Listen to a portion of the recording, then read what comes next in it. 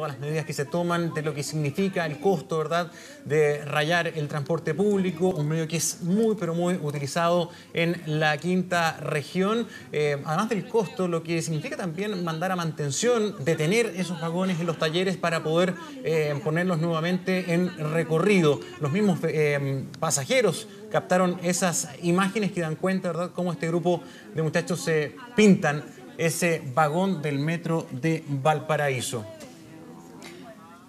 Gabriel Huber nos tiene los detalles al respecto. Gabriel. Exactamente, catalogado como un atentado, les decía, por las propias autoridades, este nuevo rayado que afecta a la, a la, empresa Metro de Valparaíso, el servicio de transporte que conecta el puerto de Valparaíso con la zona interior hasta la comuna de Limache. Imágenes captadas por los mismos usuarios, quienes la tarde del sábado estaban a bordo de uno de estos vagones cuando se detuvo para recoger y también que puedan bajar pasajeros en la estación de recreo, esto en Viña del Mar, y fue en ese momento cuando el, tren estaba detenido, cuando estas personas, más de 5, 6, 7 personas se pueden ver en estas imágenes captadas por un celular desde el interior cuando estas personas con el rostro cubierto comienzan a rayar los vagones con estos spray de distintos colores y realizando distintas figuras, algo que fue ampliamente condenado por los propios usuarios y por supuesto por las autoridades, ya que esto retrasa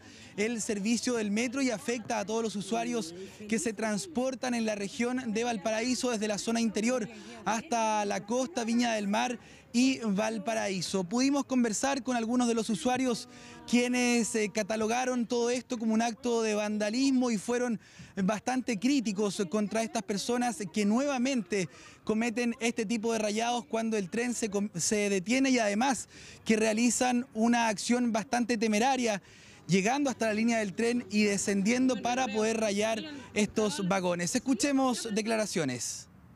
Malo está, pues, se ve tan feo. Muy ordinario, muy feo. Ojalá no lo hicieran más. Retrasan los vagones, tienen que quedar guardados, entonces se va atrasando el, el tema del tiempo. Horrible, horrible realmente. Es una falta de cultura espantosa. El vandalismo tiene intención de del descontento, de, apropiarse de la calle, de ir contra la publicidad y contra algunas marcas, como es el caso Merval, o, por ejemplo, o instituciones grandes que no se sienten identificadas. Un hecho ampliamente repudiable, cuestionado por todos los usuarios, las mismas autoridades y esto afecta a la empresa Metro Valparaíso ya que deben sacar estos vagones de circulación, llevarlos hasta las cocheras ubicadas en el sector del Belloto para comenzar la reparación, en este caso la limpieza de este vagón, lo que genera un retraso en el servicio y además un gasto extra para la empresa, aproximadamente un millón y medio de pesos, es lo que tienen que desembolsar cada vez que estas personas cometen este tipo de actos vandálicos realizando estos rayados a los cuales tampoco se le podría llamar graffiti según esta diseñadora que conversábamos ya que la única intención de estas personas es ensuciar y generar este daño a la comunidad, en este caso a la empresa Metro Valparaíso y también todos sus usuarios. Afortunadamente este vagón ya se realizó la limpieza, ya está operando con normalidad, pero esto sí preocupa a las autoridades ya que es un acto que se repite, que no es primera vez que sucede acá en la región de Valparaíso cuando uno de estos vagones se detiene. Estas personas, muchas veces en su mayoría encapuchados, llegan cargados con estos spray, lanzándose hasta la línea del tren para poder rayar estos vagones. Afortunadamente en este caso quedó grabado por estos usuarios, quienes además los increparon desde el interior de estos vagones, les decían algunas palabras que dejaran de hacer este hecho de vandalismo tal como fue catalogado también por las autoridades, les decía. Revisemos declaraciones. ¿Por qué paró? No cumplen con la condición de ser culturales, sino que más bien vandalismo.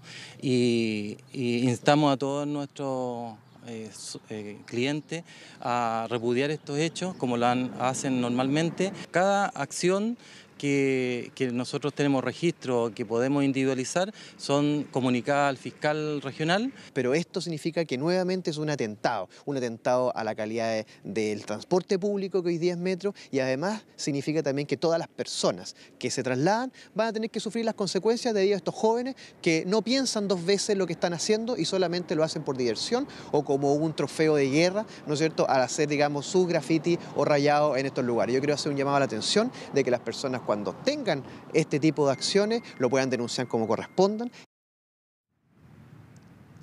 Llamado atención para estas personas entonces debido a este hecho de vandalismo que ocurrió acá en Viña del Mar en la estación de recreo y los mismos usuarios cuestionaban que estas personas con el rostro cubierto en un principio luego se les podía ver la sonrisa como ellos se mofaban de lo que estaba ocurriendo eh, la tarde del día sábado. Afortunadamente todo esto quedó grabado a través de las cámaras de los distintos usuarios los cuales ya están en poder de la Fiscalía para iniciar una investigación y dar con el paradero de estas personas y por supuesto enfrentar los cargos que correspondan. Carolina Gonzalo.